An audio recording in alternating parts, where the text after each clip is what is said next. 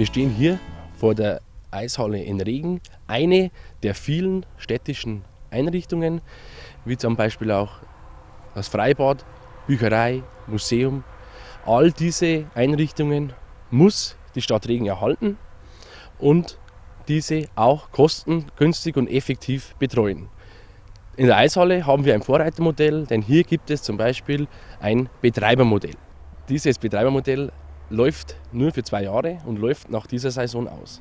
Aber ich will hier alles daran setzen, dass dieses Betreibermodell auch nach diesen zwei Jahren weitergeht und noch kostengünstiger und effektiver für die Stadt betrieben wird.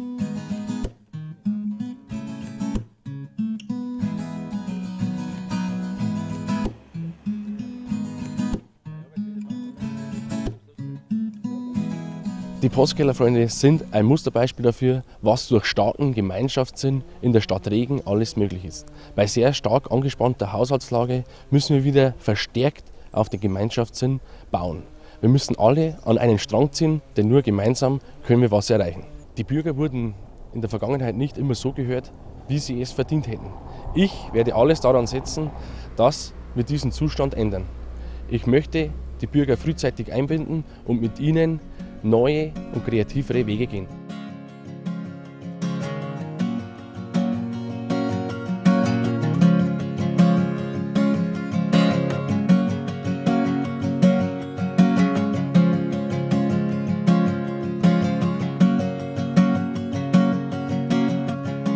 Im Hintergrund der neu gestaltete Stadtplatz.